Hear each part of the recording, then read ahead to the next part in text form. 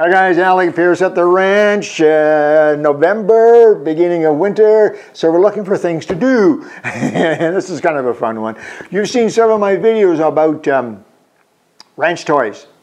My steam engine, my spud gun, oh, you got to check out the Big Bang cannon, stuff like that. Anyway, uh, good, good stuff. But you know, we also had, when I was a kid, we also had toys uh, uh, uh at home that we used indoors.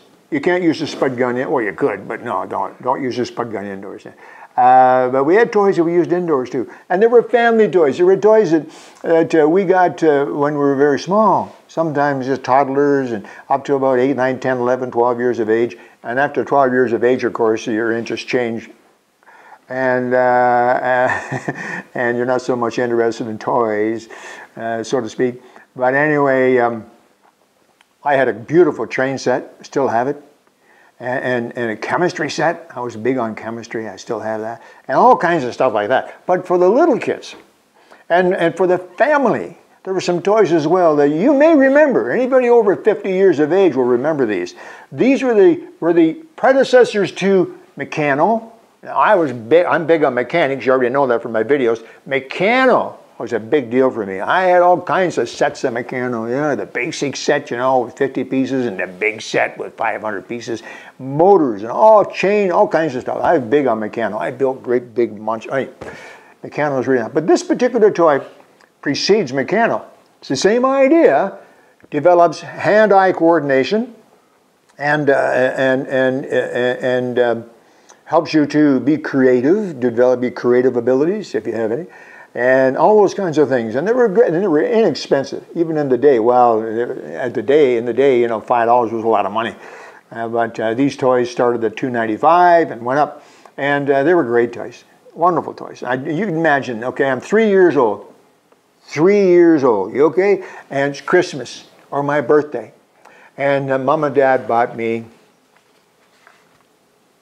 Tinker Toy. yeah, Tinker Toy. Remember that? Tinker, even the name, the name is pretty neat. Tinker Toy. There it is. A thousand toys in one, right on the box, right on the can. It came in a can, which is pretty neat. A thousand toys in one. So this a thousand toys. What's that all about? Ages two to six. I'm three. This is fantastic. Yeah, yeah, yeah. 78 pieces. This is made by Spalding, interesting enough, the baseball people.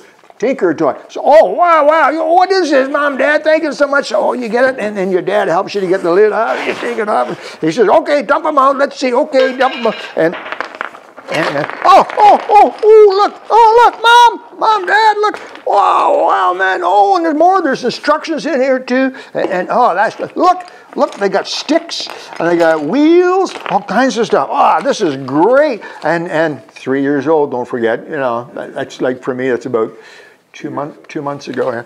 Anyway, according to my wife, anyway, and you, get instructions, and of course, at three, my reading isn't very good, so I had to get my big brother or my big sister or my mom or dad. Hi, kids, I'm Tinker Spool. I'd like to tell you about Tinker Toy and what you can do. You see it there, Kevin? Tinker Stu. Tinker Spool, not stool. Tinker Spool. You see Tinker Spool there?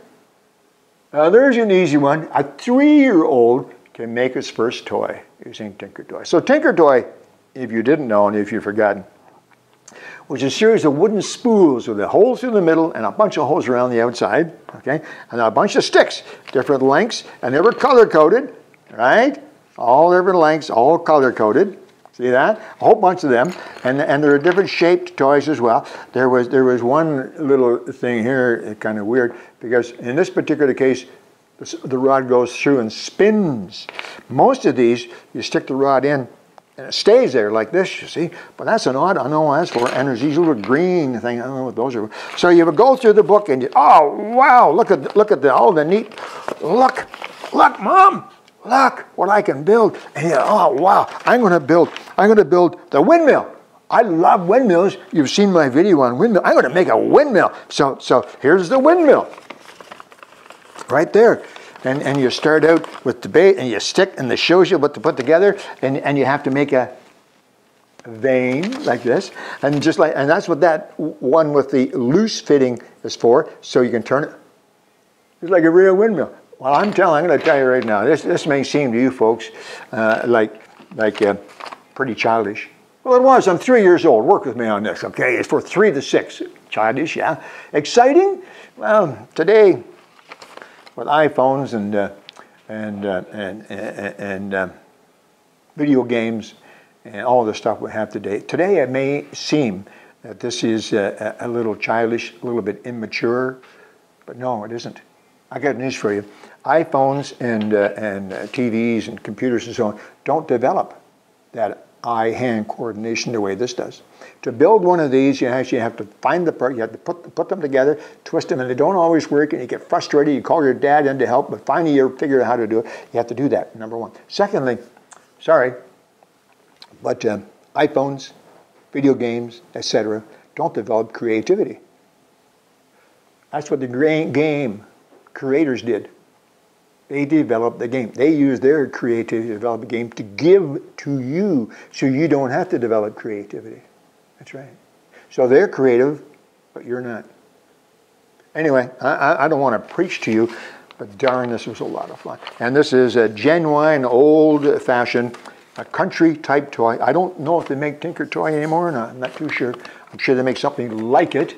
A Lego Lego it'd be kind of related to this. You get a whole bunch of parts and you put them together and build things. I saw a fellow the other day, by the way, Kevin, he built a, a full-size uh, 2020 Corvette out of Lego. Yeah, wow, doesn't drive. But anyway, uh, so, so that's close to it. But there you go. I thought I'd share that with you. I've had this since I was uh, three, four, five years old, my Tinker Toy set.